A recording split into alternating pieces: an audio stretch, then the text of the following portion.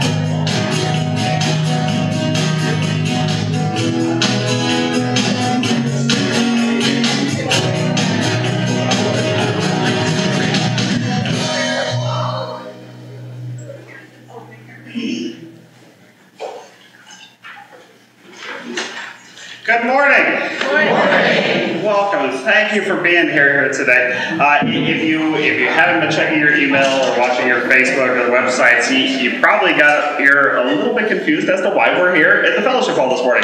Uh, we did have a fire um, Thursday morning. Uh, the copier room and the secretary's office uh, burned as a air conditioning unit that malfunctioned and uh, burned those rooms uh, pretty pretty uh, charred black. Uh, but thankfully, the fire was contained in that area. Um, the firemen got here very quick. Uh, someone called it in uh, just after it started, and the firemen got here quick, put it out. So the, the, fire was contained in that area, but smoke, as it does, travels throughout the entire building. So smoke and soot went everywhere. So now we get to start this kind of in-depth remediation process where they come in and they clean everything, top to bottom. I, I do mean top to bottom. Um, they they work super hard to get us this room for this weekend, and you know they're in here, they're scrubbing the ceilings down, wiping, wiping absolutely everything, taking, taking all the books off the shelf, wiping each one individually, put it back. It's, it is a process. So to be able to get the, the sanctuary back up and running, it's going to take a few weeks. Uh, so it's a, it's a long process, but we're, we're going to get there. Um, so for for now, uh, for in the next few weeks at least, we'll be meeting in here. Uh, normal services, nine and ten thirty. Uh, we're just going to worship over here, and it, it, will be good. Right? It'll be good. We'll, we'll, get through it. It's a little inconvenient, but we'll get through it. Uh, we got we got a room, we got a bathroom. What more than we need? We're good. You're right. And there's coffee in the back. We're perfectly fine. We might never move back in. We're good. We're good. But, but thank you so much for, for gathering together. Uh, it means a lot to come together uh, to show up for worship, uh, to show show the Lord that we are here, that we are ready to worship, and uh, I'm I'm excited to worship here together with you this morning. So thank you for being here. Uh, announcements wise, let's see. We got a vacation Bible school meeting that's still going to happen today after this service. So if you're interested in helping out with vacation Bible school, hang around and uh, we'll get you on the list and, and tell you all about it. Um, let's see. Uh, George is here. He's going to share a few words on behalf of other events that are coming up. coming up. Oh, well, this is for VBS. We're, we're well, Valley Lutheran Tri Christ. One of the things is that people who last year ran in the uh, Triathlon are going to still meet, but other people are still invited.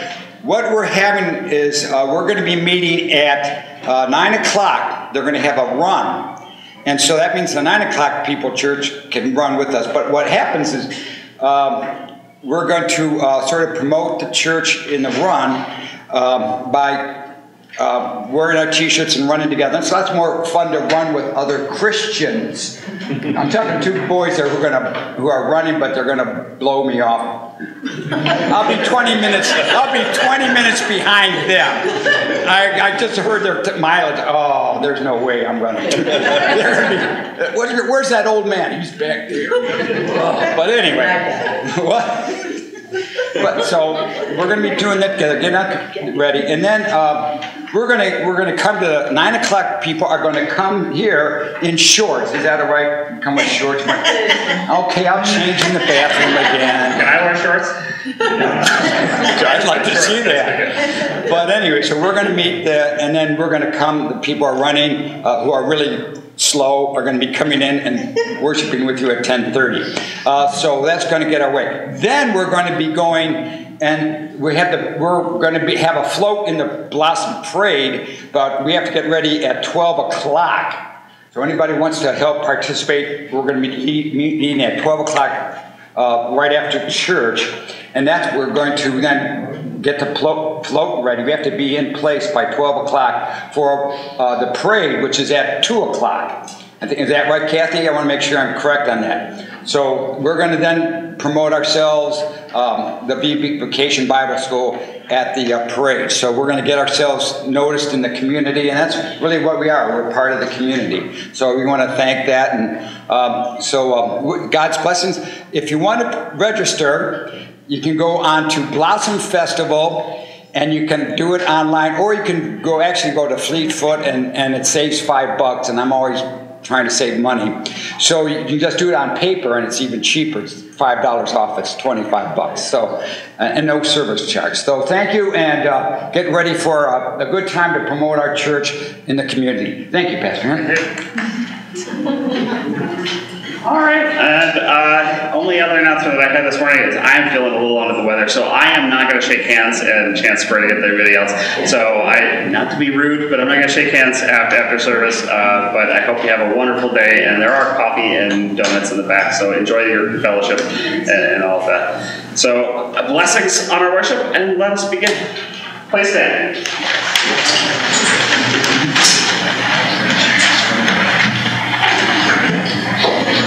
In the name of the Father, and of the Son, and of the Holy Spirit. Amen.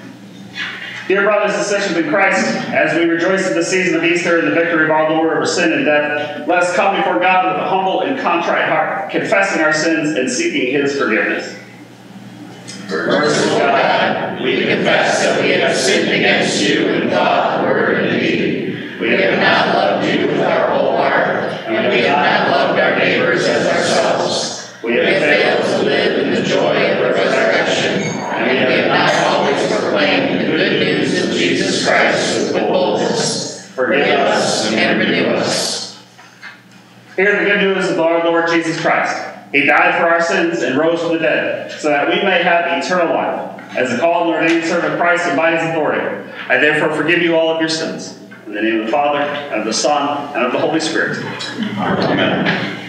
Friends, welcome. Good morning. It's good to see all of you in this new space. Thanks for coming out and worshiping with us again. Uh, please take a moment to turn and greet those around you if you've not already done that. Nice that you stay standing as you're through.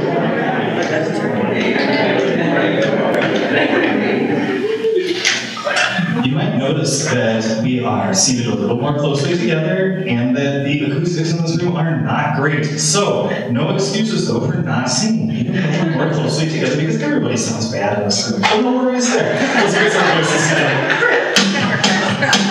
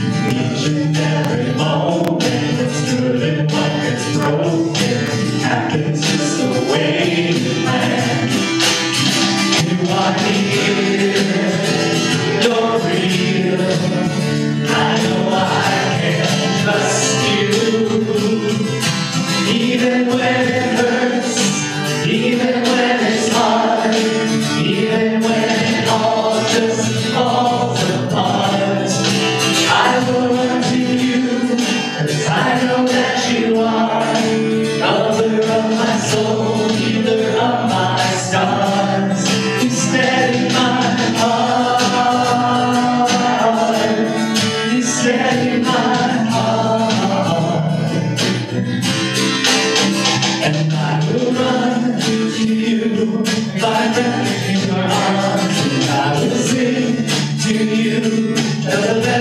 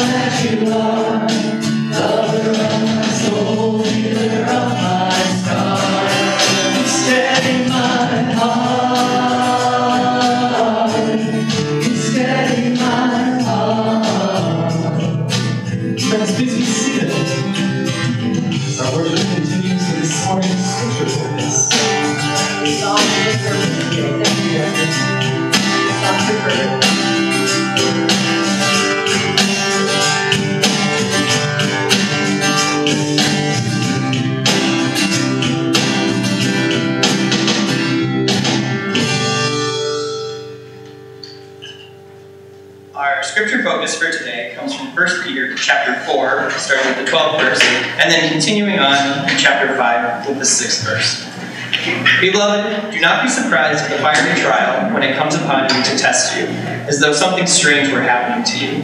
But rejoice in so far as you share Christ's sufferings, so that you may also rejoice and be glad when his glory is revealed. If you are insulted for the name of Christ, you are blessed, because the Spirit of glory and of God rests upon you. But let none of you suffer as a murderer, or a thief, or as an evildoer, or as a meddler. Yet if anyone suffers as a Christian, let him not be ashamed, but let him glor- glory, let him glorify God in that name. For it is for it is time for judgment to begin at the household of God. And if it begins with us, what will be the outcome for those who do not obey the gospel of God? And if the righteous is if the righteousness is scarcely saved, what will become of the ungodly and the sinner? Therefore, let those who suffer according to God's will entrust their souls to a faithful Creator while doing good. Humble yourselves, therefore, under the mighty hand of God, so that at the proper time he may exalt you, casting all your anxieties on him, because he cares for you. Be sober minded, be watchful. Your adversary, the devil, prowls like a roaring lion, seeking someone to devour. Resist him, firm in your faith, knowing that the same kinds of sufferings are being experienced by your brotherhood throughout the world. And after you have suffered a little while, the God of all grace, who has called you to his eternal glory in Christ, will himself restore, confirm, strengthen, and establish you. To him be the dominion forever and ever. Amen. This is the word of the Lord. Thanks be to God.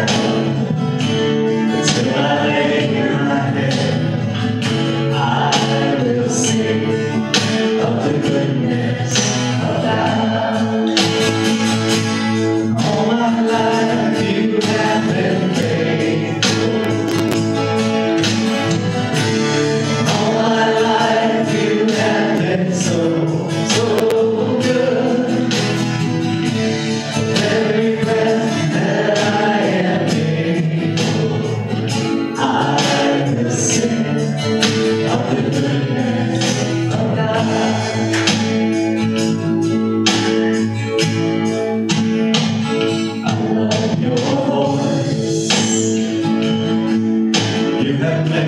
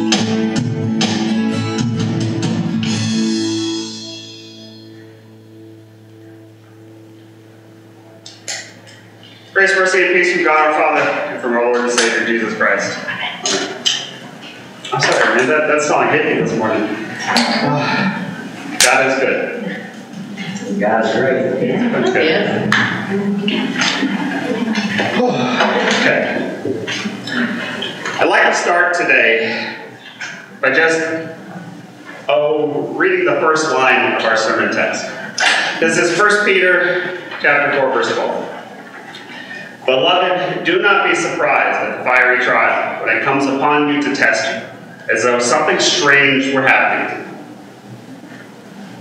Now you're probably thinking, how clever and apropos it was for Pastor to adjust the scripture reading to incorporate Valley's literal fiery trial. However, that would be assuming too much of me. This is the regularly scheduled reading for this Sunday. And not only that, but I picked this particular text to focus on out of the, the three scripture readings for each weekend, maybe almost a month ago. I had no idea how hard these words would hit today.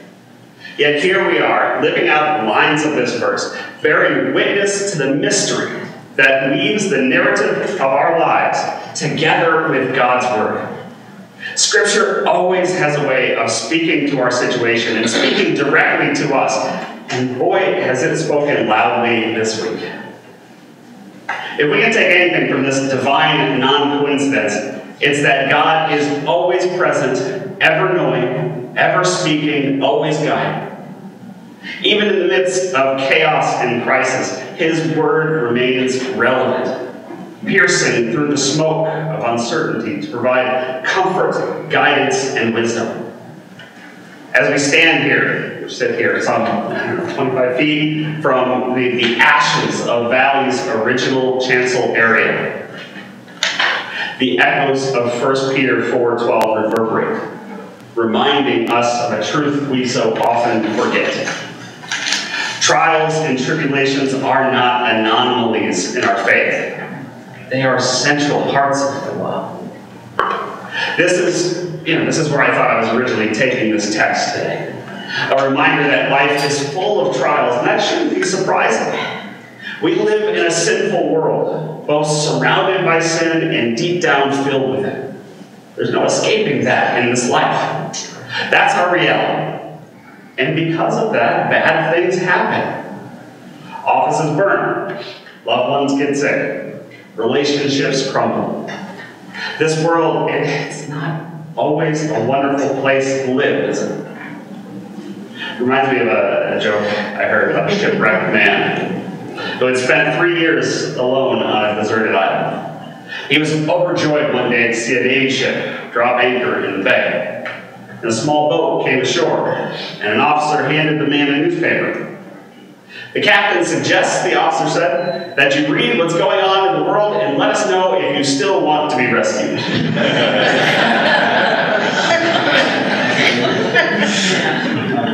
can be hard, right? And this world it can be scary.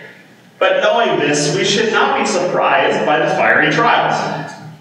Of course, this life surrounded by sin is going to be hard. Peter obviously knew this 2,000 years ago, and I don't think it was a new idea at that time. But these words from St. Peter were not meant to, to simply prophesy our current situation. They weren't simply an unhelpful warning that, hey, you know, you're in for it. For what good is prophecy in and of itself?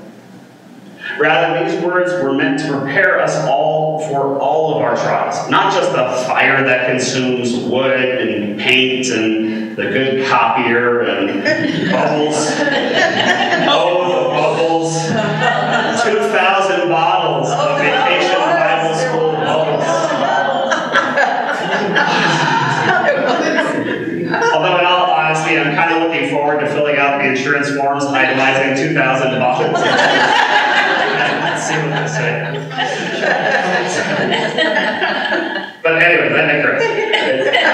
Peter's words are to prepare us for these fires that can try our faith, our character, our collective spirit. And I wish I could tell you that this is the last hurdle that we're going to face, but you know, that wouldn't be the truth. Yet what I can tell you with absolute certainty is this. We are not alone in our trials.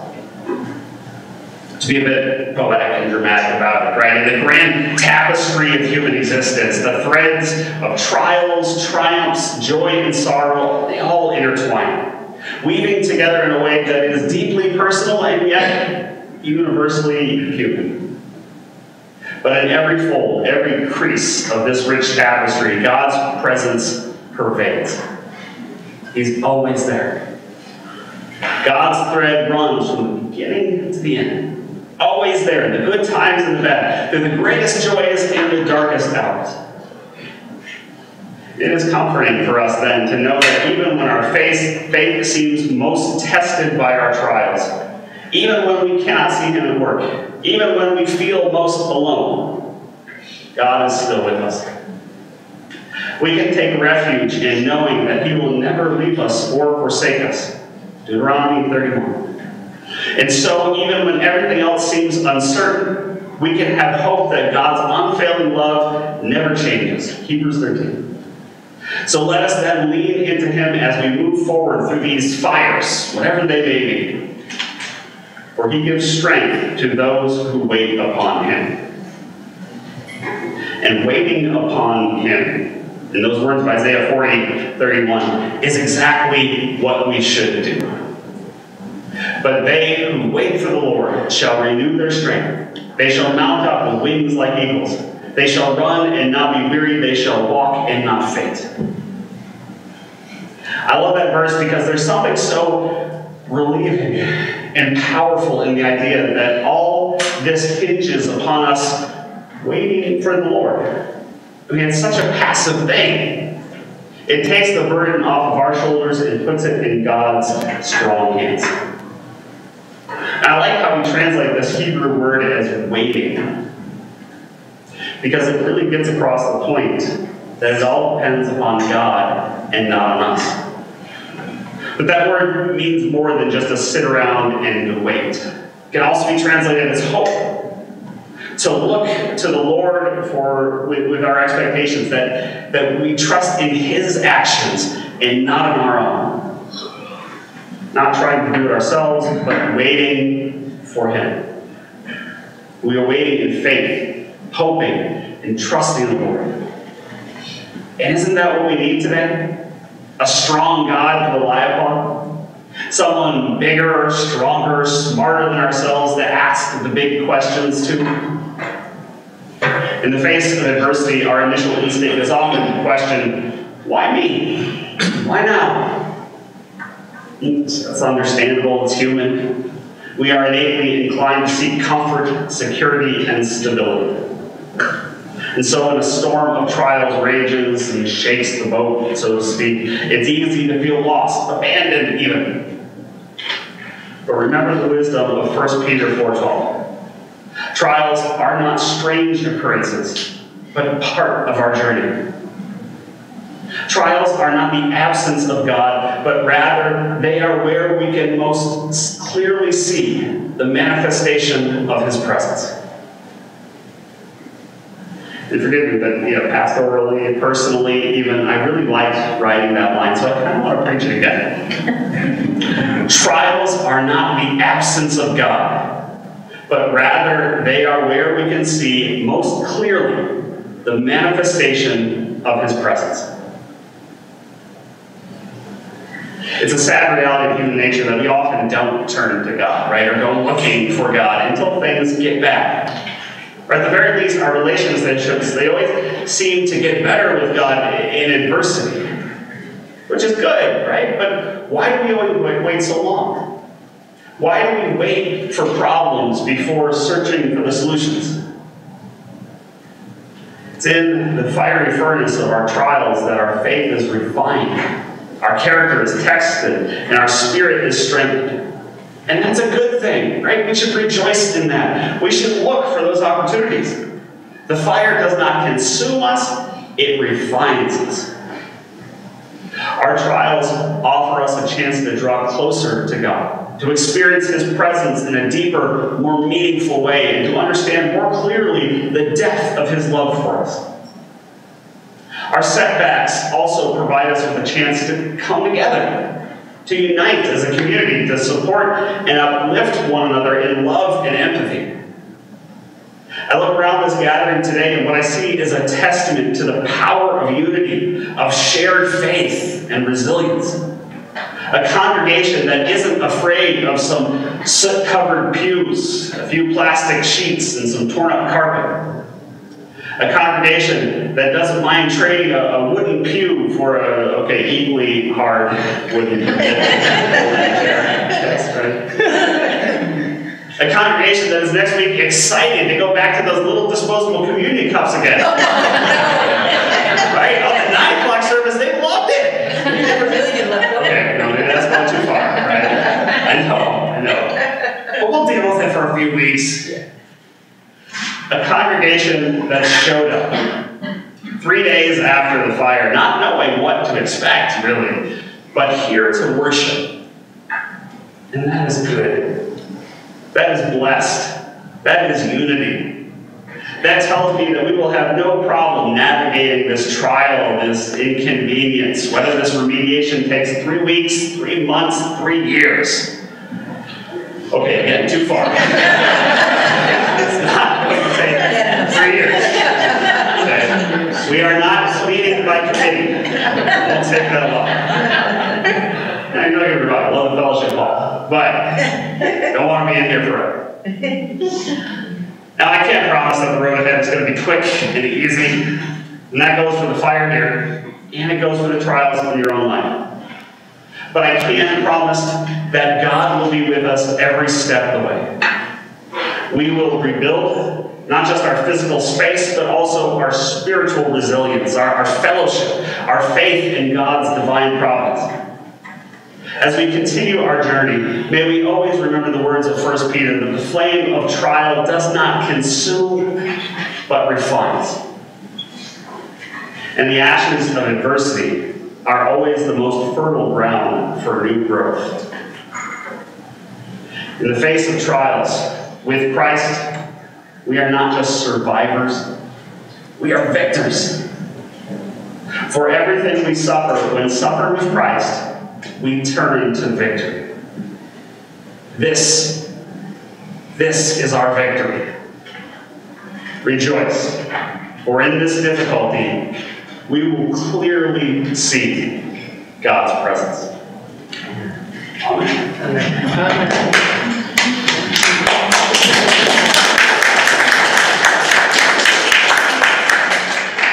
know the peace of God which surpasses all understanding will guard your hearts and your minds in Christ Jesus. Let us stand as the offerings are brought forward to the Lord.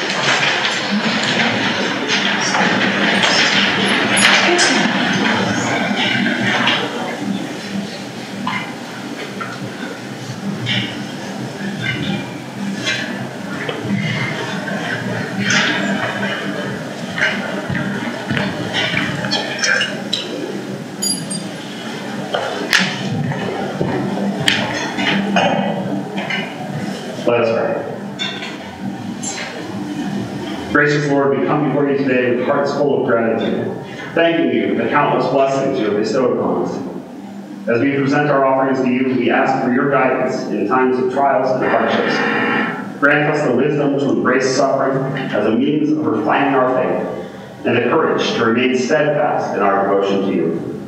Help us to humble ourselves under your mighty hand, trusting that you will exalt us in due time. With thankful hearts, we commit these gifts to your service as a testimony of our love and devotion. Amen.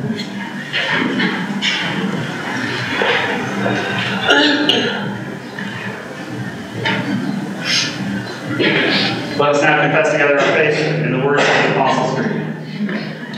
I believe in God, the Father Almighty, maker of heaven and earth, and in Jesus Christ, his only Son, our Lord, who was conceived by the Holy Spirit, born of the Virgin Mary, suffered under Pontius Pilate, was crucified, died, and was buried. He descended into hell. The third day he rose again from the dead. He ascended into heaven, and sits at the right hand of God the Father Almighty.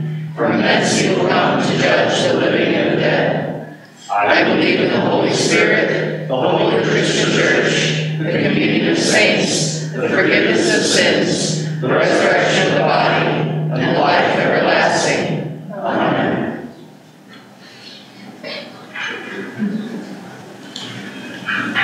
Let us pray for the whole Church of God in Christ Jesus and for all people according to their needs. Lord God, ruler of all, protect and defend your church from every attack of the devil who prowls and seeks to devour. Where he tempts, strengthen your people to resist his seductions and terrors.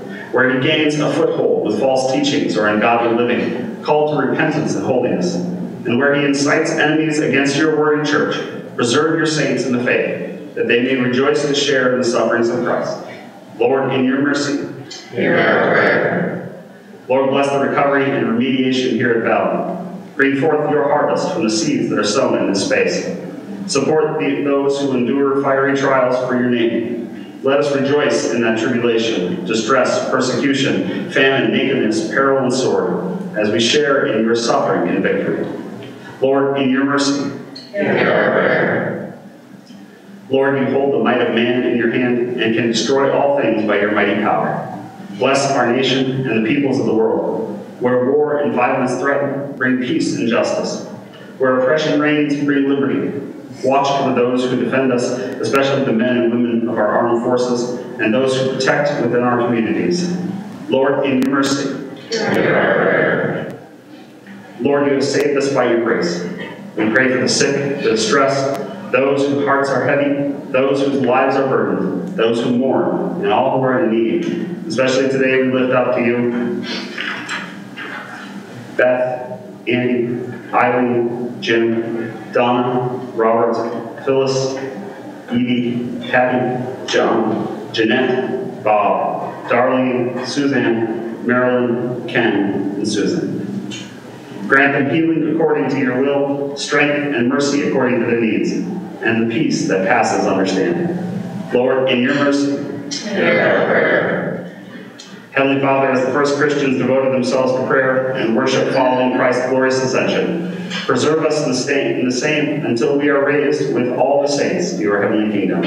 Through Jesus Christ, your Son, our Lord, who lives and reigns with you and the Holy Spirit, one God, now and forever. Amen.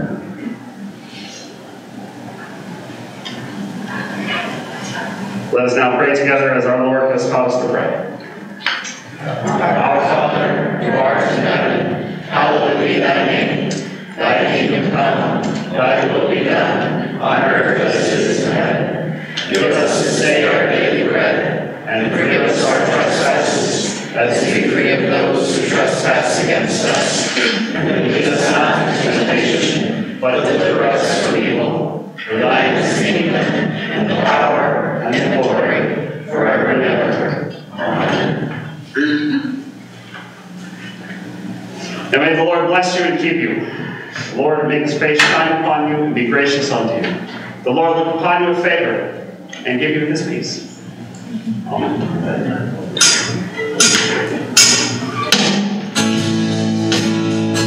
Friends,